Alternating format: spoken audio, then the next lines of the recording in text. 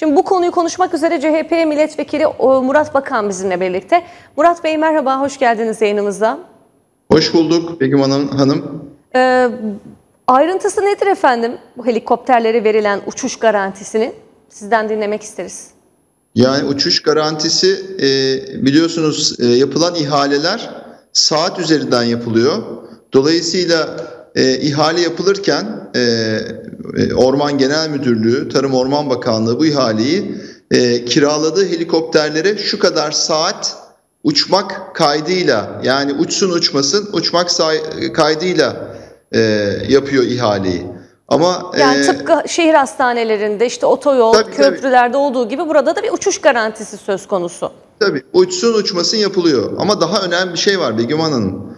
Ee, burada şu an e, uçan helikopterler yani Rusya'dan, Ukrayna'dan, Belarus'tan e, kiralanan helikopterlerin aynısı e, Jandarma Genel Komutanlığı'nın envanterinde mevcut.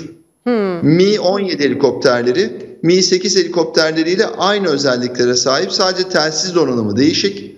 Bununla ilgili ben Süleyman Soylu'ya sordum. Envanterinizde 19 helikopter var diye 18 dedi. 6 tanesi bakım için e, yurt dışında olduğunu söyledi. Şu an faal şekilde Aydın'da, Ankara'da, Doğu ve Güneydoğu Anadolu, Anadolu'da e, sadece lojistik amaçlı kullanılan, genel hmm. maksat helikopteri olarak kullanılan ve daha önce 2003-2005 yılları arasında yangın söndürmede kullanılan helikopterler jandarmanın envanterinde mevcut. Bunların hmm. altına sadece su boşaltmak için Bambi Bakıt denilen e, şeyi e, ekipmanı ekleyerek bunlar şu an aktif olarak görev yapabilirler. Aynı şekilde daha önce 2013 yılında e, Orman ve Su İşleri Bakanlığı iken bakanlığın ismi e, bakan yardımcısının açıklama yaptığı Skorsky helikopterleri hem Jandarma Genel Komutanlığı'nın hem de aynı şekilde Türk Sağlık Kuvvetleri'nin envanterinde mevcut. Bunlar da bir yarım saatlik, bir saatlik bir e, kit takımıyla takılmakla yani o Bambi bakıtla bunlar da yangınlarda kullanılabilir.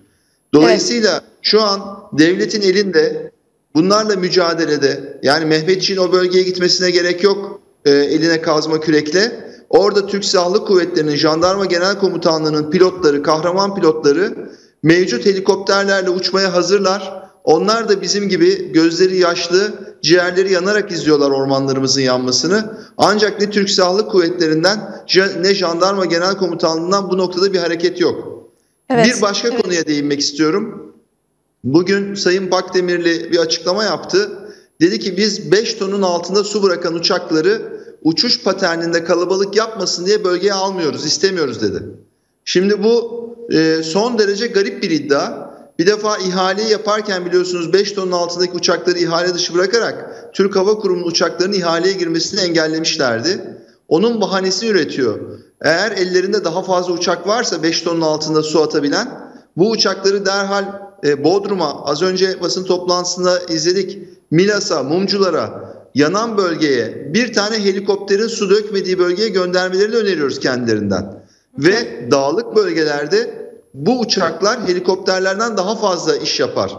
Ben hani konuyu e, pilot bir milletvekili olarak söylüyorum. Aynı zamanda pilot lisans olan bir milletvekili olarak söylüyorum. Helikopterlerin palleri, pervaneleri alçaldıklarında rüzgar yaptığından yangının yayılmasına sebep olurlar.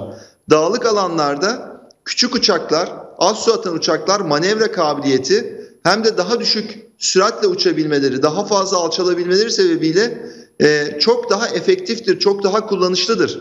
Yani Sayın Pakdemirli başından itibaren toplumu yanılttı, algı yönetimi yaratmaya çalıştı. Bugün de aynı şeyi yapıyor. Yani buralarda küçük uçaklar uçabilir. Uçuş paterni dediği şey de doğru değil. Çünkü bir hava kontrolü gerekmiyor bu uçakların uçması için. E, bu uçaklar VFR şartlarda uçar yani görerek şartlarda uçar. Kendi aralarında koordinasyonu sağlayarak bu uçaklar o bölgede uçuş yapabilirler. E, ve bizim pilotlarımız Rus pilotlarından daha fazla risk alır, daha fazla alçalır. Yangının merkezine suyu bomba bırakır gibi bırakabilirler. Hepsi eğitmen pilot bunların. Son derece yetenekli, e, dünyada az bulunacak yeteneklere sahip pilotlar.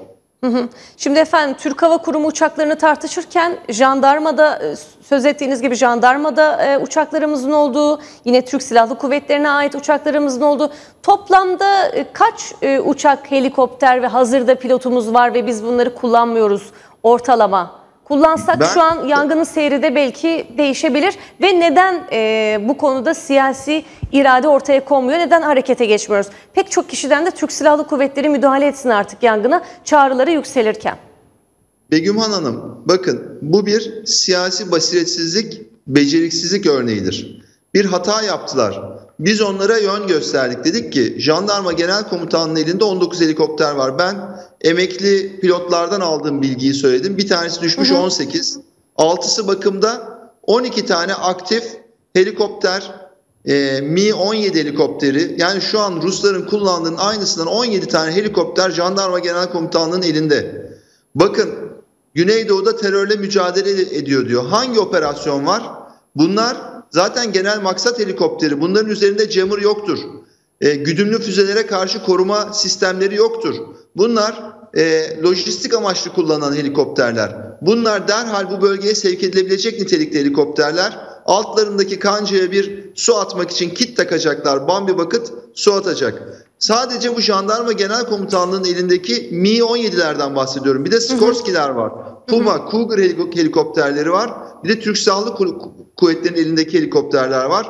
Bununla ilgili biz bugün Milli Savunma Bakanlığı'na da bir soru önergesi verdik. İçişleri Bakanlığı'na da şu an ellerindeki kaynağı biz bilmiyoruz. Onların açıklaması lazım. Ne kadar kaynak var? Bir de yine Türk Silahlı Kuvvetleri'nde C-130 nakliye uçakları var.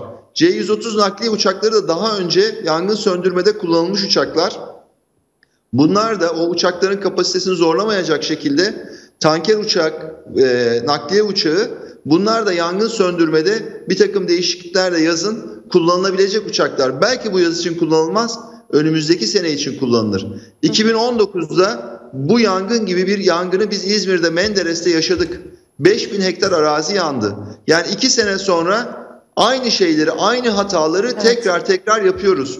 O zaman da Türk Hava Kurumu'nun uçaklarını sormuştuk. O zaman da Türk Silahlı Kuvvetleri'nin envanterindeki, Jandarma Genel Komutanlığı'nın envanterindeki helikopterleri, uçakları sormuştuk. Bugün aynı şeyleri tekrar soruyoruz. Yani orman köylüleri müdahale ederdi geçmişte. Türk Silahlı Kuvvetleri Mehmetçik müdahale ederdi geçmişte. Elimizdeki devletin kaynaklarını doğru düzgün kullanamıyoruz. Biz uluslararası yani Birleşmiş Milletler'in üyesi bir ülkeyiz. Her konuda uluslararası dayanışmayı önemseyen bir ülkeyiz. Geçmişten bugüne Cumhuriyet'in değeridir bu. Ve bugün uluslararası yardımı da kabul etmez noktada açıklamalar yapıyorlar. Biliyorsunuz Fahrettin Altun bu devleti aciz içinde göstermektir dedi. Yani kısaca şunu söylüyor. Mealen şunu söylüyor. Diyor ki benim, benim ülkem yansın kül olsun ama devleti aciz içinde göstermeyelim. Bu aciz değildir. Bu toplumsal dayanışmadır. Bu uluslararası dayanışmadır uluslararasındaki diplomasinin gereği, insanlığın gereğidir. Evrensel hukuk kurallarının gereğidir. Bunun farkında değiller. Hı hı. Bir başka açıklama Süleyman Soylu'nun açıklaması. O da son derece yadırgatıcı. Biz elinizdeki helikopterleri kullanın diyoruz. Diyor ki ben yangını elimle mi söndüreyim? Yani gaf üzerine gaf. Süleyman Soylu kimse senden yangını eline söndürmeni istemiyor. Ama senin bu sözün o e, yangındaki ekiplere su ve ayran taşırken 25 yaşında hayatını kaybeden kardeşimize hakarettir. Onun aziz hatırasına hakarettir. İnsanlar elleriyle söndürmeye çalışıyor vatandaşlar. Yani merkezi hükümet ortada yok. Yerel yönetimler, vatandaş seferber olmuş yangını söndürmek için. Ve evet. yangını devlet şu an kendi imkanlarıyla söndürmüyor. Yangın kendiliğinden sönüyor Begüm Hanım. Bitiyor orman. Orman yanarak sönüyor. sönüyor. Yani burada bir yangın söndürülmüş denecek bir başarı da yok açıkçası.